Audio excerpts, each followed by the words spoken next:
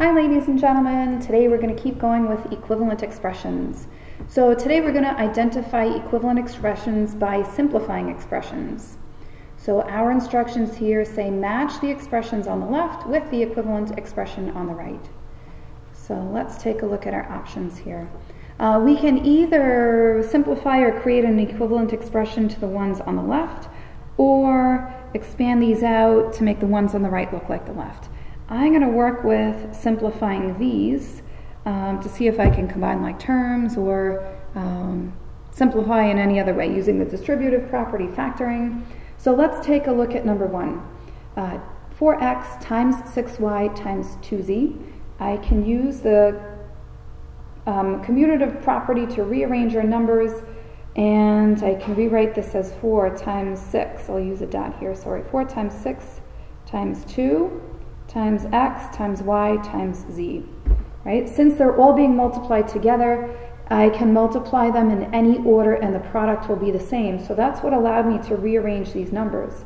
So 4 times 6 times 2 is 48. So we're going to simplify that to 48 and x times y times z.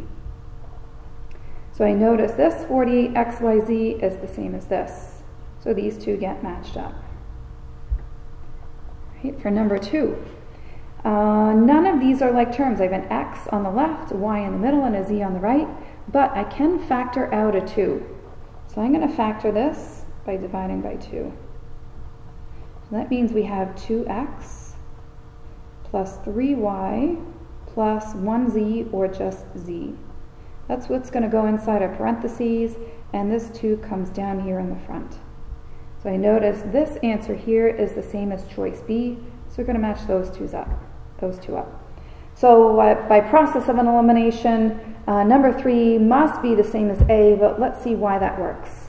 I notice that even though this says uh, 4xy, um, over here this is 6yx, the variables are the same. So I can rewrite this 6yx over and just switch the order of it so it says 6xy. Again, they're all being multiplied together, so I can multiply them in any order. That's our commutative property.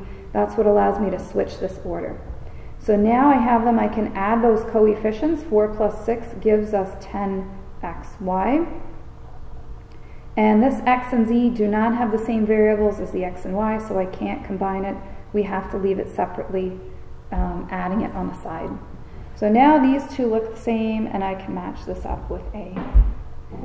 Ms. Magenta, please call 1274. 1274. Sorry for the interruption.